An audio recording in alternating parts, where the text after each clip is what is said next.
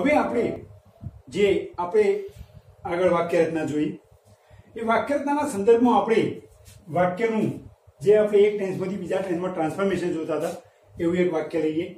તો અહીંયા જુઓ કે હી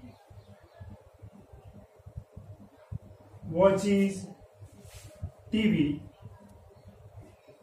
ડેલી આવું વાક્ય છે. બરાબર છે? આ વાક્ય જે છે એ સાદા વર્તમાન કાળનું છે. સાદો વર્તમાન કાળ હકાર છે. તો હવે સાદા વર્તમાન કાળનું હકાર વાક્ય આપણે બનાવ્યું.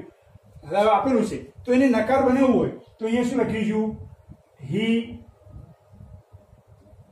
અહીંયા વોચી છે એટલે does not watch TV daily આ વાક્ય નકાર થયું. આગળનું રિપીટેશન થાય છે અહીંયા. એટલે ધ્યાન રાખજો, આગળનું પણ સાથે સાથે થઈ શકે. હવે ઉલટ પ્રશ્ન જોઈએ તો ડજ આગળ લઈ જાઓ. તો does he watch TV daily આ સાદો વર્તમાન કાળ થયો. હવે આનું આ વાક્ય છે, એ સાદા વર્તમાન કાળમાંથી આપણે એને સાદા ભૂતકાળમાં ફેરવીએ. તો સાદા ભૂતકાળમાં ફેરવીશું તો પહેલા અકાર વાક્ય આવશે. તો અકાર વાક્યમાં એની વાક્યના શું છે? ક્રિયાપદનું ભૂતકાળનું રૂપ. તો અહીંયા હી તો એમનું એમ રહેશે, પણ વોચનું શું થઈ જશે? વોચડ. ટીવી અને ડેઈલી છે. એ ડેઈલી જગ્યાએ આપણે શું લખીશું અહીંયા? યસ્ટરડે સમજો શબ્દને બદલવો પડે. ત્યારે ક્યારે ભૂતકાળ થયું એટલે અહીંયા ડેઇલી લખી શકાય ને યેસ્ટરડે હવે અહીંયા વોચડ છે. તો એનું નકાર વાક્ય બનાવો શું બનશે? કે હી ડીડ નોટ હવે ડીડ નોટ આવ્યું એટલે ક્રિયાપદનું મૂળ રૂપ. Did not watch TV yesterday આ બીજું થયું. હવે એને ઉલટ પ્રશ્ન પ્રશ્ન બનાવીએ તો શું થશે? ડીડ આગળ જતું રહેશે. તો ડીડ હી ડીડ આવે એટલે ફરી ક્રિયાપદનું મૂળ રૂપ. Watch TV yesterday. આ થયો સાદો ભૂતકાળ. સાદા વર્તમાને સાદો ભૂતકાળ બનાવ્યો. હવે આપણે એને સાદા ભવિષ્યકાળમાં ફેરવીએ. તો સાદા ભવિષ્યકાળમાં ફેરવે તો સાદા ભવિષ્યકાળમાં શું આવશે? શેલ અને વીર તો શેલ વીરમાં આપણે જોઈએ કે હી સાથે શું આવશે? વિલ. હવે વિલ આવીને ક્રિયાપદનું શું આવશે? મૂળ રૂપ હી વિલ વોચ ટીવી અને અહીં એસ્ટડી છે પણ અહીંયા ભવિષ્યકાળ આવ્યો એટલે અહીંયા શું લખીશું? Tomorrow he will watch TV tomorrow હવે એનું નકાર બનાવો તો સાદા ભવિષ્યકાળમાં પ્રકાર નકાર પ્રશ્નના વાક્ય રચનામાં બહુ ફરક હોતો નથી. તો ખાલી સેલ વિલ પછી નોટ મૂકો એટલે નકાર થઈ જાય. તો he will not watch Tomorrow. અને વ્હીલ સેલને આગળ લઈ જાઓ એટલે શું થશે? ઉલટ પ્રશ્ન બનશે. તો will he watch TV tomorrow આ થયું એ સાદા ભવિષ્યકાળનું થયું. એનો ગોઈંગનો ઉપયોગ કરવો હોય. તો ગોઈંગનો ઉપયોગમાં આપણે જો કે ગોઈંગનો ઉપયોગ બહુ મહત્વનો નથી, પણ ગોઈંગનો ઉપયોગ કરવો હોય. તો આપણે શેલ વિલની જગ્યાએ શું મૂકી દઈશું? શેલ વિલની જગ્યાએ શું મૂકી દઈશું? આપણે એને શેલ જગ્યાએ ગોઈંગ ટુ તો he is going to watch TV tomorrow he is not going to watch TV tomorrow અને is he going to watch TV tomorrow એવું લખી શકાય. પણ એ આપણે જરૂર નથી. હવે આપણે જોઈએ ચાલુ વર્તમાન કાળ. તો ચાલુ વર્તમાન કાળમાં આપણે આકાર વાક્ય જોઈશું. તો એમાં શું આવશે હવે? અહીંયા સેલ વિલ છે, એની જગ્યાએ શું આવશે ઈ જેમાં અને ક્રિયાપદનું એનજી વાળું રૂપ આપણે હાલથી શીખીએ તો અહીંયા હી ઇઝ વોચની જગ્યાએ શું થશે? વોચિંગ ટીવી અને ટુમોરો જગ્યાએ નાવ. બરાબર છે? હવે એનું નકાર બનાવો. તો ચાલુ સાદા બહિષ્કારની જેમ ચાલુ વર્તમાન કાળમાં પણ વાક્ય રચનામાં બહુ ફરક રહેતો નથી. ખાલી ઇઝ એમાં પછી નોટ મૂકશે એટલે નકાર થઈ જશે. તો he is not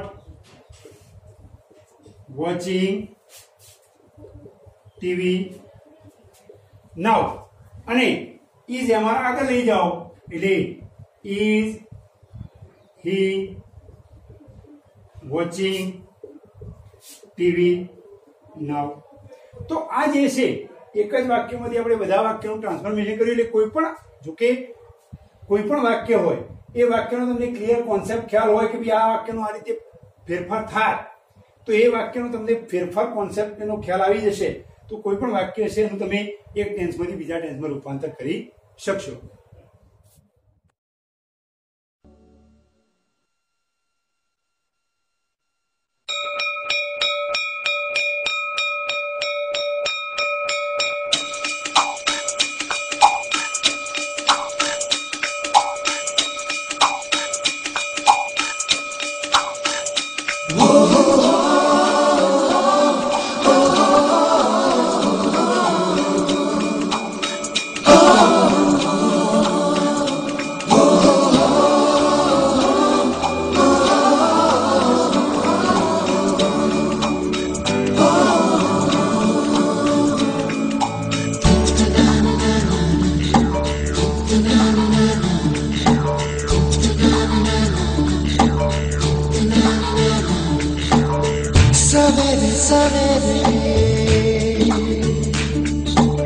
ત્યારું સે મિલને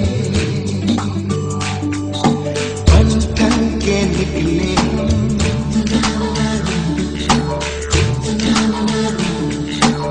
સવેર સવેરે યારું સે મિલને ઘર સે દૂર ચલે રોકે સે ના રોકે હમ सा गरजे हम सावन सा बरसे हम सूरज सा चमके हम હવે મિત્રો આપણે બીજું ઉદાહરણ જોઈએ એવું ને એવું એટલે જેને તમને વધારે ખ્યાલ આવે એનો કોન્સેપ્ટ દાખલા તરીકે અહીંયા આપણે ફરીથી જોઈએ આપણે કે સાદો વર્તમાન કાળ બરાબર અકાળ અહીંયા આપણે લખીએ the farmer plows the field.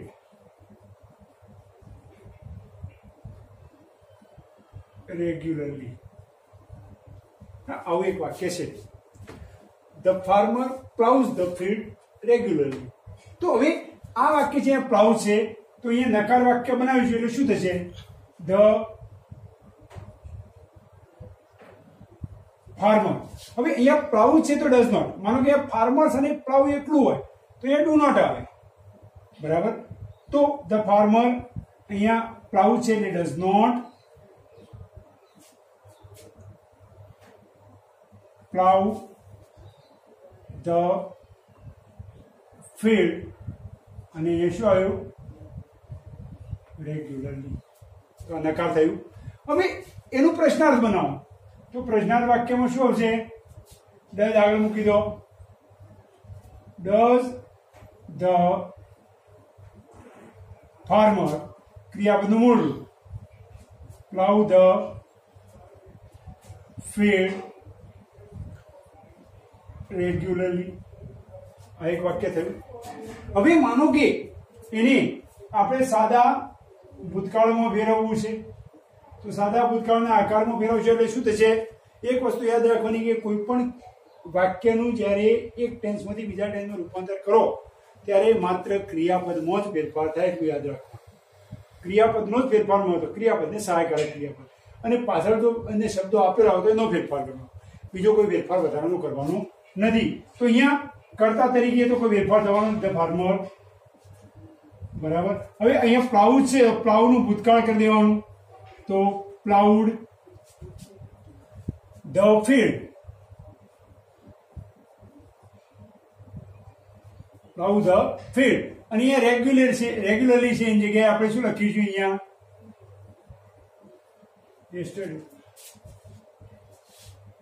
બરાબર. તો અહીંયા રેગ્યુલર જગ્યાએ યસ્ટરડે આવી ગયું. હવે અહીંયા ઈડી લાગ્યું છે, તો એનું નકાર બનાવશે, ત્યારે શું આવશે? તો the farmer did not plow the field yesterday. અહીંયા ઈડી છે, એટલે ડીડ નોટ ડીડ નોટ એટલે ક્રિયાપદનું મૂળ રૂપ અને હવે પ્રશ્નાર્થ લઈએ. તો પ્રશ્નાર્થમાં શું આવશે? ડીડ આગળ જતું રહે છે. Did the did the farmer plow the field, yesterday. આ શું થઈ ગયું? પ્રશ્નાર્થ વાક્ય. બરાબર છે? હવે, આના વાક્યનું આપણે સાદા ભવિષ્યકાળમાં રૂપાંતર કરીશું. સાદા ભવિષ્યકાળમાં રૂપાંતર કરો શું આવે શેર વેલ આવશે. તો અહીંયા આપણે લખીએ કે ધ ફાર્મર વિલ પ્લાવ એ બધું મૂળ વૃક્ષ શેર પછી. પ્લાવ ધ ફીલ્ડ અને યસ્ટરની જગ્યાએ શું આવશે. ટુમોરો સેલ વિલ પછી નોટ મૂકો એટલે શું થઈ જાય? નકાર થઈ જાય. The farmer will not plow the field. Tomorrow. અને વીર સેલને વાક્યની શરૂઆતમાં લઈ જાઓ એટલે પ્રશ્ન ઉલટ પ્રશ્ન મતલબ કે will the farmer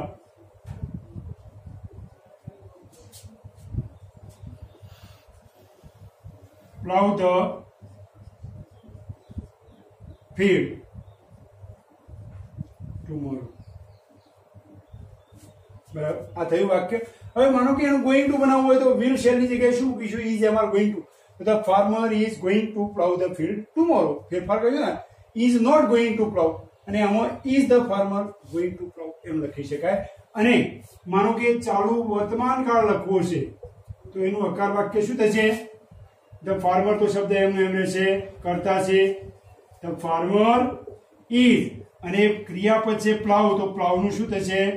ploughing the field અને ટુમોની જગ્યાએ આપણે શું લખીશું? નવ.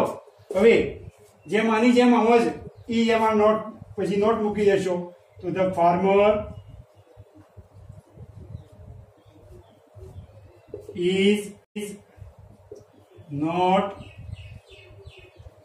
plowing the field now અને એ જે અમારા વાક્યની શરૂઆતમાં is the farmer plowing the field is the farmer plowing the field now તો હવે જુઓ, આ જે ઉદાહરણ છે આપણી, બરાબર? આ એક વાક્યમાંથી બધા ટેન્સમાં ટ્રાન્સફોર્મેશન. તો એ રીતે હું અહીંયા એક એક્ઝામ્પલ લખું છું તમે જાતે પ્રયત્ન કરશો, તમને વધારે ખ્યાલ આવશે. દાખલા તરીકે અહીંયા લખીએ આપણે કે મનન લર્ન્સ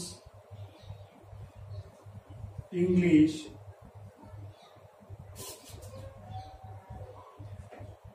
રેગ્યુલરલી.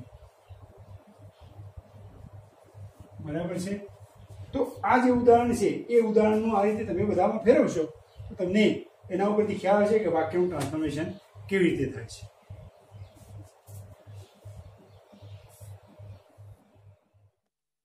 ખબરોમાં આગળ વધતા વાત કરીશું. વિસનગરમાં ખાનગી કોચિંગ ક્લાસ અને શાળાના પંદર જેટલા અનુભવી શિક્ષકોએ કોરોના વાયરસની મહામારી વચ્ચે અનોખો પ્રયોગ શરૂ કર્યો.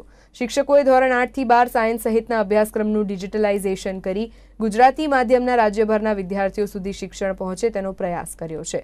શિક્ષકો દ્વારા લોકડાઉનમાં પોતાના ઘરેથી જ અભ્યાસક્રમ ભણાવી વીડિયો રેકોર્ડિંગ કરી પોતાની યુટ્યુબ ચેનલ પર અપલોડ કરાઈ રહ્યો છે, જેથી વિદ્યાર્થીઓ પોતાના સમયે અને પોતાની અનુકૂળતા મુજબ જાતે જ ધોરણ અને વિષયનો અભ્યાસ કરી શકે.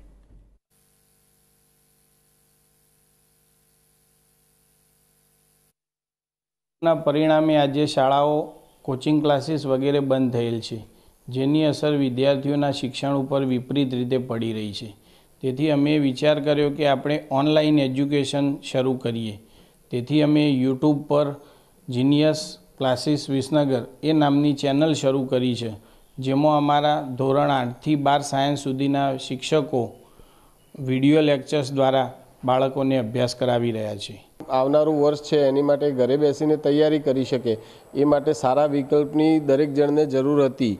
અમારા બાળકોને પણ ઘરે અભ્યાસ કરાવતી વખતે ક્યારેક એ પૂછતા કે, પપ્પા, આનું શું થાય? આ દરેક વિષયના આપણે એક્સપર્ટ ના હોય ને દરેક વાલી, દરેક વિષય, દરેક ધોરણમાં પોતાના બાળકને ભણાવી ના શકે. આવી ઘણી બધી મૂંઝવણો હતી. તો એના ઉપાય રૂપે ઉત્પલભાઈને વાત કરી અને એમણે કહ્યું કે, આપણે ઓનલાઈન ક્લાસીસ શરૂ કરીએ. અને ઓનલાઈન ક્લાસીસની અંદર બધા જ શિક્ષકો અલગ અલગ ધોરણના અલગ અલગ શિક્ષકો અલગ અલગ વિષયનું રોજનું એક કલાકનું શિક્ષણ આપતા હોય છે. એટલે એને આપણે ઘરે બેસીને બાળકો જોઈ શકે, સમજી શકે, ભણી શકે અને યુટ્યુબ ઉપર ચેનલ ચાલુ કરવામાં આવી હોવાથી એક વખત એને જોયા પછી ફરીથી એ લિંક દ્વારા ઓપન કરીને વારંવાર એનું રિવિઝન પણ કરી શકે છે. એટલે મારા મતે સર્વ બાળકો માટે અને ઘરે બેસીને અભ્યાસ કરવા માટે ખૂબ જ આશીર્વાદરૂપ આ વસ્તુ છે.